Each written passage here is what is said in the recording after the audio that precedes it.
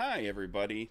Uh, it's Craig Campbell from Nerdburger Games, and uh, I do this thing on my Discord where I let people ask questions, and sometimes I talk about those and answer those questions in the Discord, and sometimes they require a little more work and a little more thought. So here we are, and I'm going to go through some of those questions. Um, a little bit about kind of GMing, a little bit about game design stuff, and uh, maybe you'll find this interesting, maybe you'll find this useful. Um, if you asked questions uh, over the last couple months, it's taken me a while to get to this. Sorry, everybody. Um, give it a listen. Um, way back at the beginning of it, Ardent Idler asked, uh, let's say I finish a draft of my Universal RPG that I am happy with. The game is solid and works. It has been thoroughly playtested and is unanimously loved, but I have tapped out the people I know. How do I go about marketing it uh, without spending a lot of money? Am I? Uh, I am trying to get involved with social. I assume you mean social media, but I feel like I am missing a step between where I am now and being ready to launch a successful Kickstarter. Um, there's a bunch of questions in there, and there's some kind of loaded stuff that's in there, and I'm going to address all of it. But first things first, um, this is based on my personal experience. This uh, you, I could be completely wrong. You could with all of this stuff. Um, I think it's probably pretty spot on. Um, advice and pretty useful, hopefully. But you might find uh, that there's another way for you, and you might find advice from other people that uh, say do something different or, or approach it a, a little differently. Um, who knows? It, a lot of this is just kind of trying to see what you can do, see what you can make happen. Um, Universal RPG. First of all, that is a hard sell. Uh, there are Universal RPGs out there. There's actually quite a lot of them, but when you really think about it, there's only a handful that are are seriously um, successful in terms of their uh, you know getting a lot of players and they're being applicable and having a lot of settings kind of published along with them um, and supplements that go with them. There's really only maybe a half dozen that are big. Um, if your definition of success is I want to make a game and put it out there and have some people play it and like it, then go nuts. If your definition of success is I want to make a universal RPG that is broadly success, successful and um, gets a lot of people playing it and is the next big thing, then um, that's a little tough to do just as a straight universal RPG because that's not really a selling point to a lot of gamers. A lot of gamers are going to say, "Well, what's the game about?" Well, it's you know, you tell them, "Well, it's a universal RPG. You can do anything," and then they're like, "Well, I I've got a lot of things I'd like to do. Can I do this thing?" Because they're going to say, you know, well, well, what you know, I, I, I, like a fantasy game, I like a sci-fi game, I like a supers game, I like a dark game, um, I like a horror game my suggestion to perhaps help you with um, getting the system out there is to create um, a setting or supplement or thing that kind of goes along with it that um, gives it uh, um, a little more of an appeal. Um, you know, it, I'm not sure what that might be. What interests you is really what it comes down to. What's the thing you want to do with that universal RPG? Um, but create like you know a game with it might be fantasy, it might be sci-fi, whatever it is you find you want to pursue and try to get people to play that. And then say, oh, and by the way, in addition to this really cool sci fi game, the system is very malleable and it can be worked to do all sorts of other things. And here's how you can do that. And then you can kind of build that. Um, you remarked that it's uh, been play tested and, and people love it, but that it's only that you've tapped out the people you know. So here's the uh, here's the upside and the downside to having things playtesting things with your friends. Number one is you've got a group. They're right there. They're ready to try it out. So you have no excuse. You have an easy way to get out, to get it at the table and to make it all happen and, and get to see the game in play. That's the great side. It's like you've got this built-in thing. The downside is they're your friends, and that's a good thing too, because they're going to be supportive. And that having that cheering section is useful. And I like to keep like I've got friends who play some of my games and stuff, and when I talk to them about it, I just kind of I ask them for the nice things, like they they're, they're supportive and they're and they're cool, um, and they help to keep me focused and happy and, and feeling like I'm moving things forward and things are going well. Um, but they might, you know, your friends might not tell you what's wrong with the game. They might, or if they do tell you where there's problems, they might be a little too nice about it um, and kind of cushion the blow. And maybe you think, well, maybe, okay, that's not that big of a problem because they were only kind of saying it was, oh, it's a little weird. When really what they mean is there's a problem. So getting people outside of your friend group to play test is very, very useful. How can you do that? Um, it's really a question of just reaching out into every realm you can think of. Um, you can reach out on social media through your own social media um, and try to get kind of friends and friends of friends. Basically, that's the best part about social media is that it's a whole network. So you can go friends of friends. Um, so that's people that you don't know. Um, take a look at uh, posting to boards where they uh, uh, promote um, people looking for playtesters and, and new systems. Um, go to the Gauntlet. Um, they have a very robust uh, series of online games that they run. Um, lots of different GMs. There's a lot of playtesting that goes on there. They have a community that is very much into playing indie games um, and, in particular, playtesting things. So take a look for the Gauntlet. If you want to promote on my um, Discord channel, throw a, throw a note up there saying, "Hey, I'm looking for playtesters for this. I look, I need some strangers to try this game out." Um, do that by all means. Um, I'll help pimp it. Um, go to forums and so forth, and just and reach out. Also, go to local conventions and game days, and to game stores on Saturday afternoon or whatever when people are just perusing and have a little sign, and just have people sit down and you know walk them through the system for half an hour and get their get their thoughts. Um, that does twofold. That gets you marketing, so people start to become aware of your game, um, and it also maybe somebody points something out that could be uh, you know help to make the game better. So um, and you know how long do you need to do that before you run a Kickstarter? You know that's kind of a question of how much do you want to struggle with the Kickstarter. Um, the more you have, the more people you have in place who are ready to back on day one, the easier the whole process is going to be. So, like with mergers and acquisitions, I was actively going to local conventions and occasional further away conventions and um, and reaching out to pl- find playtesters for probably a year and a half before I went to Kickstarter. Now that was maybe longer than I needed to, and there are certainly people out there that have done it for shorter periods of time. Um, but uh, you know, six months at least of building awareness um, if you're looking to play test as well, probably longer than that.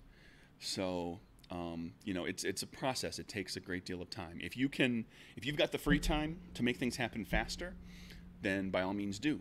But uh, you know, like my, my my year year and a half kind of thing, that was because I work a 50 hour a week day job, and I was just kind of working on this part time in my in my spare time. So, you know, it's a question of how much time can you put toward it? If you can put a lot of time toward it, you can punch through a lot of stuff faster. You can reach a lot more people faster. Um, so yeah, it's kind of what.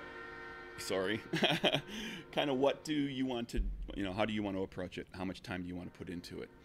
Um, and then uh, you know start to reach out when you get closer to kickstarter then you start thinking about kickstarter specific things like reaching out to being on podcasts um, and doing interviews and getting uh, people who do who write blogs and things like that, and you can start to reach out that way. But uh, you know, just general awareness and building a mailing list. If you've got like a Mailchimp account or some similar system, um, you know, get get people to to demo your game for an hour and then ask if you can put them on a mailing list. Um, and say, hey, I'll only, I'm, I'm not going to throw a whole bunch of emails at you. I'm just going to let you know when the Kickstarter goes. That's what I did with Mergers and Acquisitions. Was I, I gave them a promise. I will send you one email and one email only, and that's when the Kickstarter goes.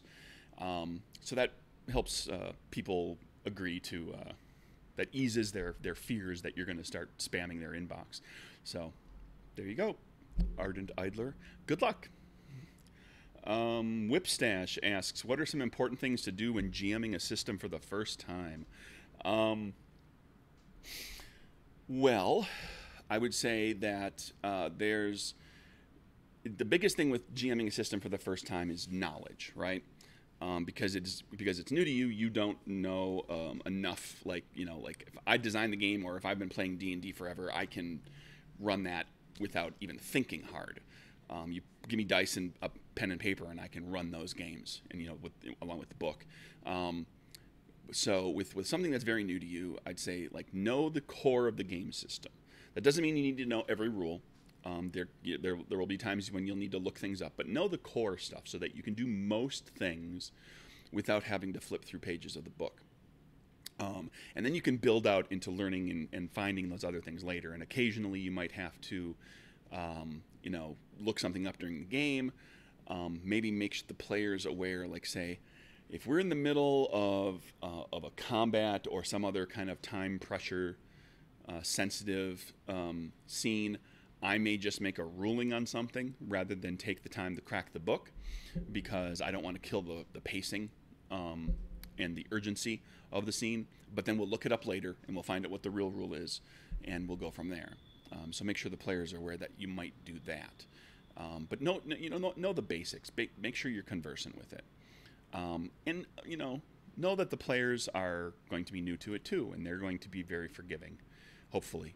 Um, most players are pretty forgiving when it comes to GMs who, um, who are who are doing something for the first time, and they know and they know that the GM is, is new to the system. And then when like the setting and the tone and what the game's about, you know, know the basics of that too, and be prepared to feature that.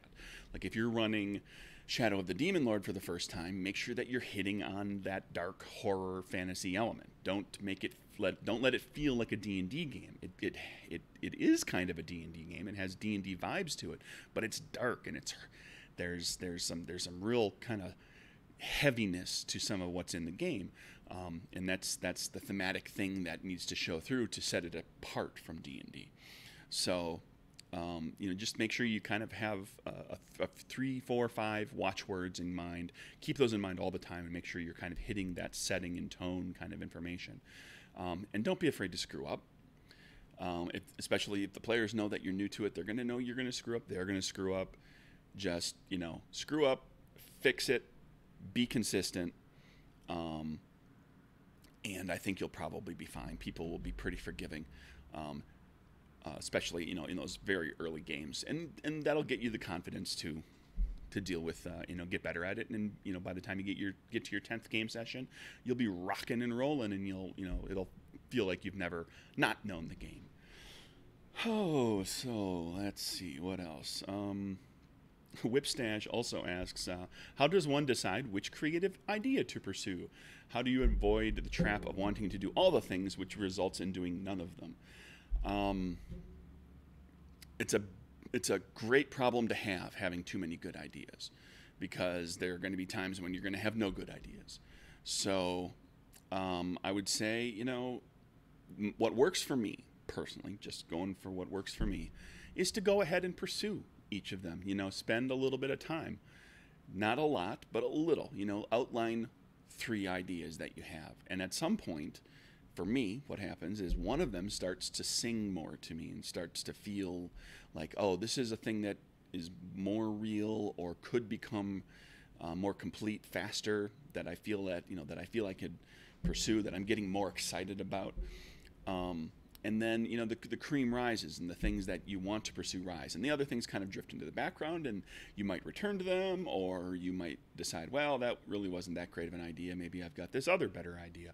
So i, I go ahead and let you know pursue each one of them a little bit. In time something will jump out at you as being the thing to uh, to really go after.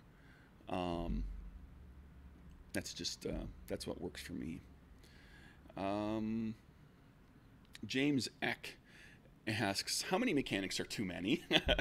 um, and, and how important is it for mechanics to follow a similar format or pattern? Um, how many mechanics are too many? I don't think there's such a thing as too many mechanics, except on the, you know, like be reasonable side. Um, but, you know, like that is to say, having a lot of mechanics isn't necessarily bad. There are players who love having a lot of mechanics. They like really crunchy systems.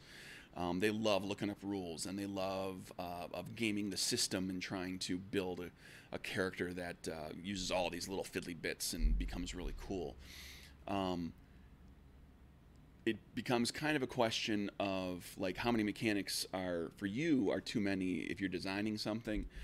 You know that's that's an upper limit of well it becomes a question again of what's successful to you. Do you want a game that you know that, that is the game you want it to be and it's going to find a home and, and, and be liked and played by some people?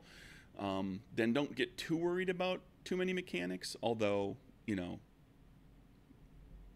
when there's really too many, you'll know, um, and your players will tell you. Um, but there will be players that'll be that'll like that. Now, if you're looking at you know if your definition of success is um, to find uh, more people to play your game, then you have to be careful about getting too robust. The same way you have to be careful about being too light. Um, there are certainly people out there who like horror games who would look at Die Laughing, my game, which has you know one mechanic in it that does two things, and they would say this this just this is not for me. This is there's not enough here. Um, so you know it's a question of finding that middle ground. Um, and that comes a lot, I think a lot out of playtesting. You'll talk, you'll you'll have people play, and people will tell you like this is too complex. There's way too much going on here, or there's or there's not enough, or whatever. Um, I think when it comes to uh, mechanics that follow a similar format or pattern, that tends to be something that people want to see in more uh, contemporary games. Uh, gone are the days of uh, you know second edition D and D and before where you were rolling a d20 and you want high, or you were rolling a d20 and you want low, or you were rolling this many dice or that many dice, or you were rolling percentiles, or you know there was so many different mechanics because they, those games were built out of war games, and the war games kind of did what they needed to do. Whereas now nowadays games um, systems tend to be more tightly codified and uh, use thing you know like if you're rolling high in one mechanic, you probably need to roll high in other mechanics. Um, within the system. So I think um, you know to appeal to the modern audience, um, it's important that there are um, a similar similar formats and patterns. That if it's a dice pool system, that you don't suddenly break out of the pool idea too often. Like you can you can have a few things where it's like, well, rather than rolling d6s all the time for this dice pool, occasionally you'll roll a single d6 and determine this thing. And you can do that for a few things, but don't do it for too many if the game is supposed to be a dice a d6 dice pool system because that's what people want. They're coming to your game because it allows them to run roll a whole bunch of d6s, and people love rolling dice. Um, and and seeing how many sixes you get, or adding them all up, or whatever it is the mechanic does. So um, you know, the same way your setting um, and your tone and the themes of your game and the genre of your game are appealing to certain people, and that's what they come to the game for. The mechanics themselves can also do that. The mechanics can be, oh, I, I really like this game because it allows me to roll a whole bunch of d6s, or I really like this game because all I have to do is roll one d12 every now and then.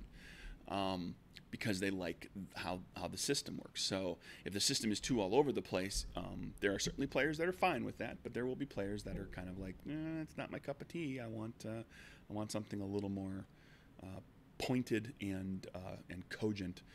Um, so there you go. I think uh, that covers the questions I'm going to go through here for today. Uh, thank you for listening. Um, that's it for now. Bye bye.